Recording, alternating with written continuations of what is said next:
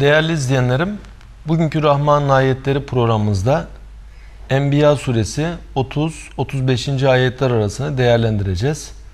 Allahu Teala burada tevhidle alakalı, kendi icraatlarıyla alakalı çok dikkat çekici ifadelerle e, bizlere anlatmakta. Şöyle ki: Evelem yerallezine keferu o inkar edenler görmediler mi?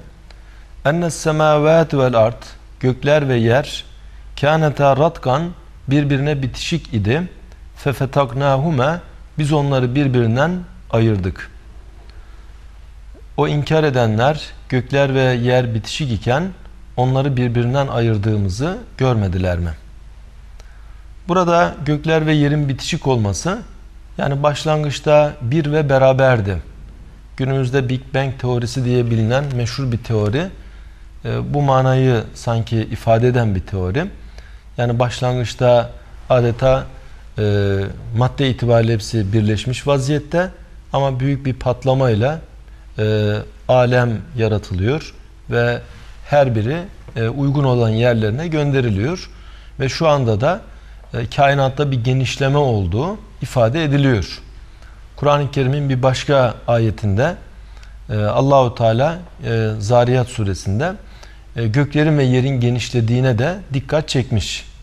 Ve semâe beneynâhâ bi eydin semayı kudret eliyle biz bina ettik ve inna lemusiun ve biz genişleticiyiz mealinde. E, buradan da alemin gittikçe genişlediği böyle bir mana e, ifade ediliyor. Gökler ve yerin başlangıçta bitişik olması insan kendi yaratılışından da buna bakabilir veya diğer varlıkların yaratılışından bakabilir. E, diyelim ki insan başlangıçta tek bir hücreydi. Tek bir hücre halinden kendisinde nice organlar meydana geldi ve nice sistemler, azalar ortaya çıktı. E, ama başlangıç itibariyle tek bir madde. Öte yandan koskocaman bir ağacı, bir incir ağacını düşünelim. Evvelinde bu da küçücük bir çekirdekti. O küçücük çekirdekten Allahu Teala dallandırıp budaklandırdı. Koskoca bir ağacı meydana getirdi. Demek ki ilahi icraat bu tarzda. Önce hepsi bir, beraber ama ardından onları birbirinden ayırıyor. Madde itibariyle düşünüldüğünde adeta gökler ve yer evvelinde sanki açılmamış yaş bir hamur şeklinde bir ve beraber Cenab-ı Hak kudret eliyle onları açıyor.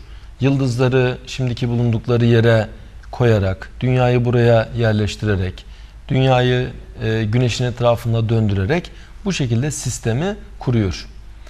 Bir başka açıdan bakıldığında mesela güneş sistemi yönüyle baktığımızda güneş, ona bağlı olan yıldızlar, ona bağlı olan gezegenler, dünyamız dahil evvelinde güneşle beraber ama e, güneşten fırlıyor, fırlatılıyor ve neticede gezegenler şeklinde meydana getiriliyor. Her birisi kendi yörüngesinde yoluna devam ediyor.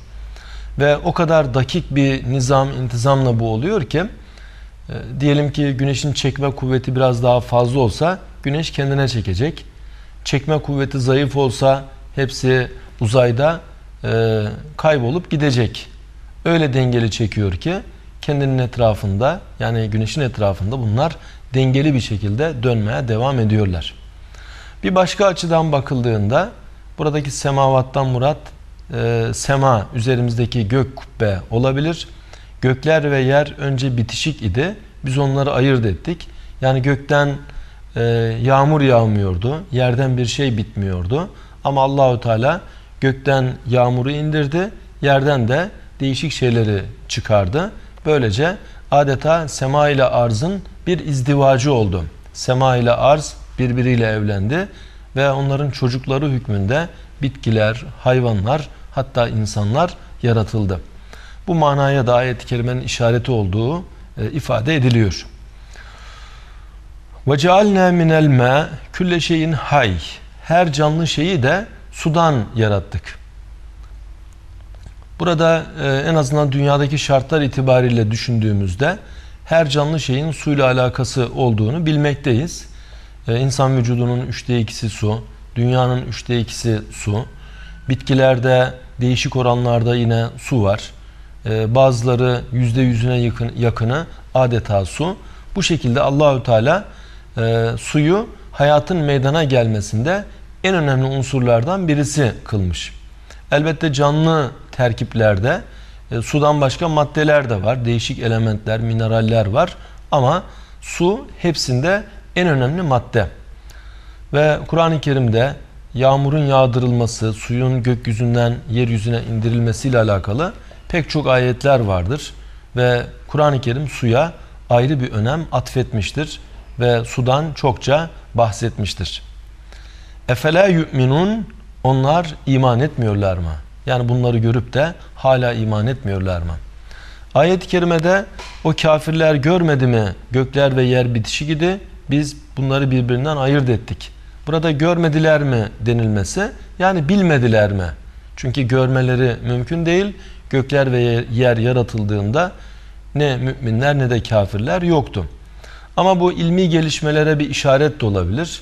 Ve özellikle e, gayrimüslimlerin ilimde daha da ileri gidip göklerin ve yerin pek çok sırlarına muttali olacakları ve ilmen bunu görecekleri. Yani başlangıçta o sema ve arzın bitişik olduğunu, oradan e, her birinin e, meydana getirilip bulundukları yerlere yerleştirildiğini ilmen ortaya koyacakları. Bunlara bir işaret şeklinde de düşünülebilir. Ve ilim gözüyle şu anda e, görmektedirler ve ehli iman da yine aynı manayı ilim gözüyle şu anda görmektedir. Ve cealna fil ardı ravasiye en temide bihim. Onları sarsmasın diye Allahü Teala yeryüzünde dağları yerleştirdi. Yani ve cealna fil ardı biz yeryüzünde yerleştirdik. Ravasiye dağları yerleştirdik. Entemi de bihim insanları sarsmasın diye. Ve cealna fiha ficacen subule ve orada o arzda veya o dağların arasında o dağların içinde geniş yollar meydana getirdik.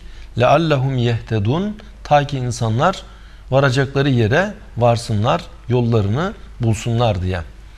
Bu da Cenab-ı Hakk'ın e, büyük icraatlarından işte dağlar yeryüzünün dengesini meydana getiriyor ve balans ağırlığını meydana getiriyor. Dağlar yeryüzünde hazineli birer direk durumunda. Sular genelde dağlardan neban ediyor. Büyük e, nehirler e, dağlardan çıkıyor. Pek çok madenler dağlardan çıkıyor.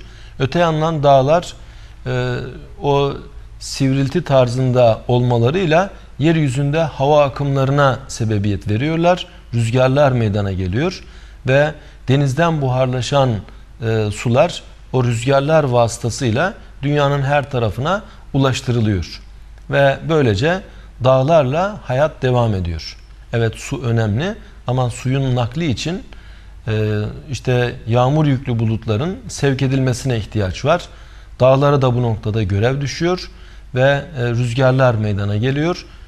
Meydana gelen rüzgarlarla e, bulutlar her tarafa taşınıyor ve her taraf sulardan, yağmurlardan istifade ediyor. Kainat çapında çarklar kurulmuş, çarklar dönüyor ve bunlar bir fabrikanın çarklarından çok daha hassas, çok daha mükemmel ve hiçbir kusur e, olmaz bir şekilde, kusursuz bir şekilde sistem devam etmekte. Allahu Teala yeryüzünde bizim için yollar meydana getirmiş.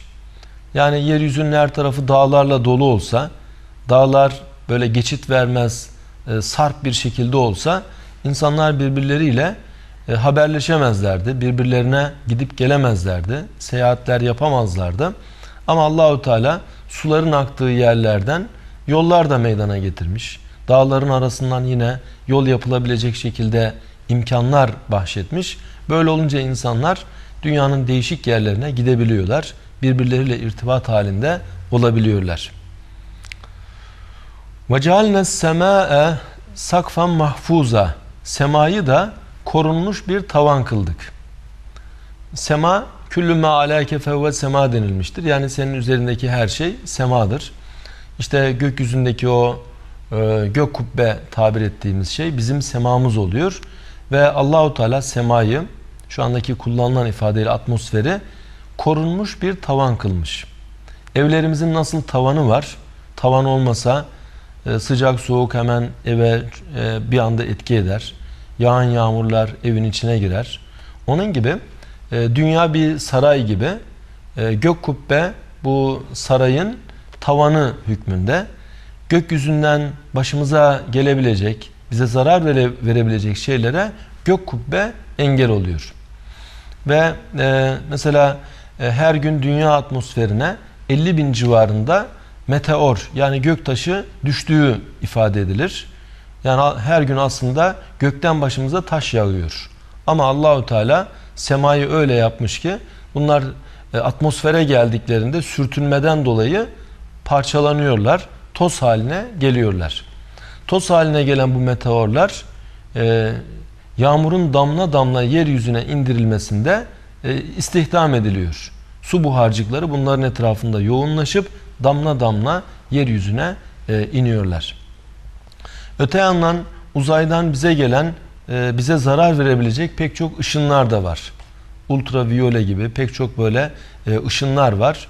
Bu e, bu ışınların bir kısmı e, bize zarar verebilecek türden. Ama Allahu Teala atmosferi öyle tanzim etmiş ki e, atmosfere bunlar geldiğinde tekrar uzaya geri gönderiliyor. Ve böylece o zararlı ışınlardan, bize zarar verebilecek ışınlardan korunmuş oluyoruz. Ancak e, son yıllarda e, ozon gazında, ozon tabakasında e, bir hafiften delinme meydana geldi. Bu da daha çok insanların kullandıkları deodorant gibi şeylerden kaynaklanan bir durum. İnsanların eliyle meydana gelen bir durum. Bu dünya için bir tehlike. İşte küresel ısınma gibi bir takım tehlikeler belki de bununla alakalı olarak da açıklanıyor. Ama normal şartlarda Allahu Teala semayı korunmuş bir tavan kılmış ve yeryüzündeki insanlar ve diğer sakinler böylece uzaydan gelebilecek zararlı şeylerden korunmuş oluyorlar. Kur'an-ı Kerim'in bu hükmü daha böyle ışınlar bilinmezden önce meteorların e, dünya atmosferine geldiğinde parçalanması bilinmezden önce haber verilen çok önemli ilmi bir gerçek. Kur'an'da bunun yer alması gerçekten de Kur'an'ın ilahi kelam olduğunu açıkça gösteren durumlardan birisi. Ve hum anayatiha muridun ama onlar semanın ayetlerinden yüz çeviriyorlar. Yani semanın çok ayetleri var. Semada bize ibret olacak, bize yol gösterecek çok ayetler var. İşte gerek güneş gerek ay, Allah'ın ayetlerinden iki ayet, yıldızlar yine her birisi birer ayet. Sema başlı başına başka bir ayet. Bütün bunlar her birisi birer ayet iken insanların çoğu e, bu ayetlerden yüz çeviriyor. Bu ayetlerin ne anlama geldiğini e, ve Allah'ın bunlarla bize ne gibi mesajlar verdiğini unutuyorlar. Ve semanın korunmuş bir tavan, tavan kılınması Allahu Teala'yı bize e, aynı zamanda rahmetiyle de anlatır. O kadar rahmetli ki, o kadar şefkatli ki e, kullarının e, zarar görmesini istemiyor. Bunun için de koca semayı e, korunmuş bir tavan kılmış. E, işte güneşi o sema e, tavanına asılmış bir lamba kılmış. Bu, bütün bunları insanlar okuyabilse alemlerin Rabbini daha iyi tanıyacaklar.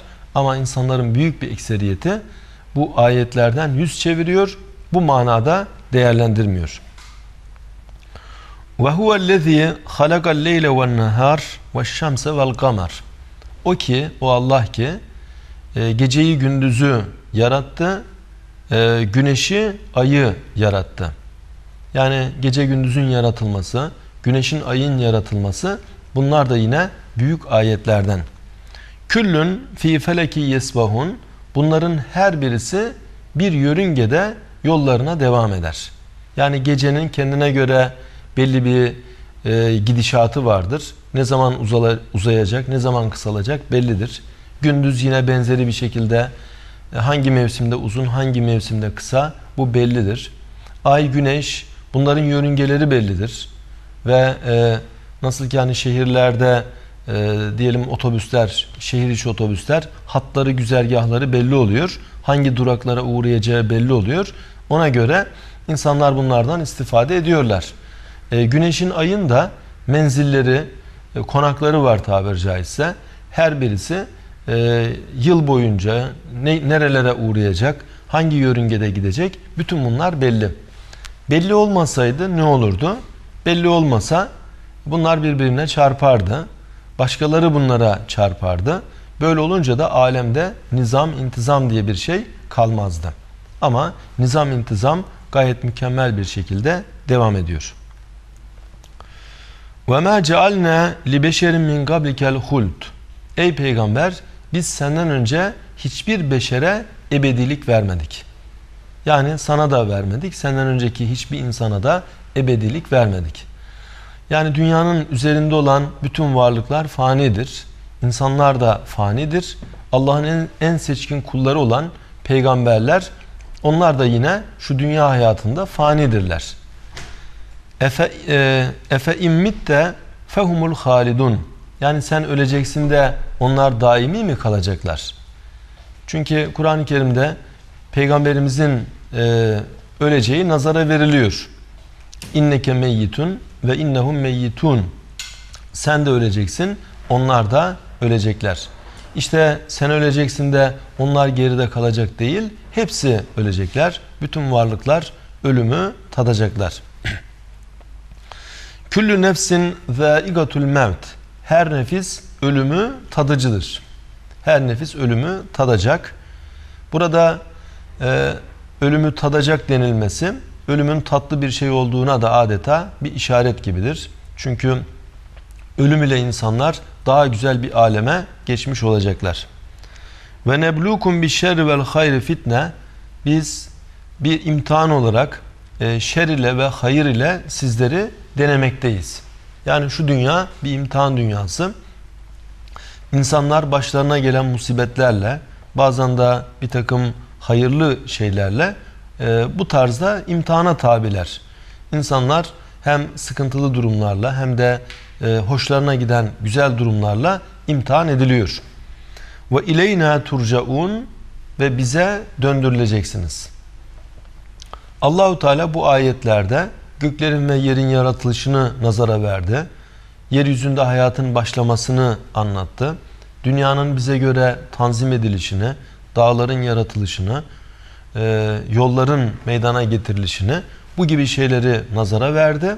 Ardından da ölüm hakikatına dikkat çekti. Yani siz ilimlerle meşgul olun, kainatın sırlarını öğrenmeye çalışın ama bu arada yeryüzünde imtihan edildiğinizi de unutmayın. Sonunda Allah'a döneceğinizi unutmayın. Yolcu yolunda gerektir. İnsan bir yere bir gaye ile gönderilmişse görevini yapmaya çalışır. İnsanların dünyaya gönderiliş gayesi bellidir ve ona göre diğer aleme imanla, salih amelle, takva ile o alemde işe yarayacak bakiyatus salihat tabir edilen e, salih şeylerle, uygun şeylerle varmaları gerekir. Bu noktada Allahu Teala hepimizi muvaffak eylesin. Başka bir programımızda tekrar beraber olmak ümidiyle hayırlı günler diliyorum.